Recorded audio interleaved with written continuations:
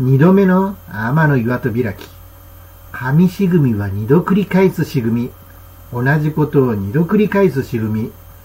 そして神しぐみは一輪のしぐみ。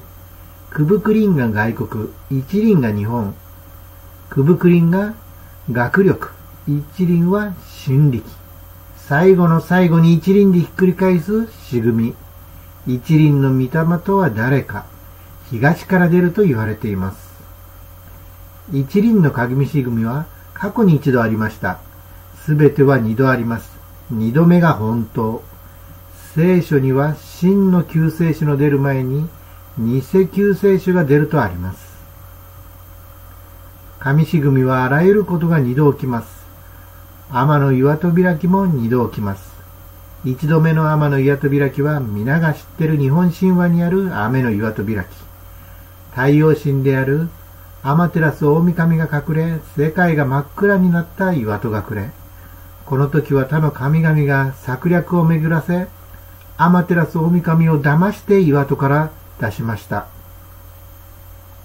しかし今度の二度目の天の岩戸開きは、本当の天の岩戸開き。騙すことなどせず、ただひたすら誠の心で天の岩戸を開きます。出口鬼三郎の予言家、水の絵進歌で、歌われた内容のほとんどは大東亜戦争による日本の敗戦についてです。しかしその続編として出された続水の絵進化はこれからの将来についてです。これこそが二度目の天の岩戸開き。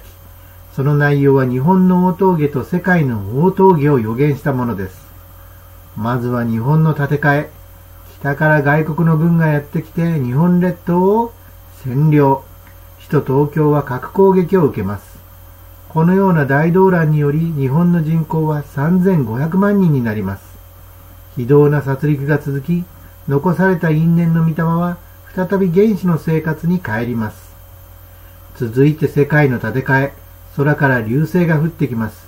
これをきっかけに地軸を揺るがす大激変が起こり、地球全土は修羅場と化します。ありとあらゆる大掃除が行われた後、天の岩戸が開かれます。そして再生一致の世となり、ついに地上天国が権限するのです。二度目の天の岩戸開きの鍵は、誠。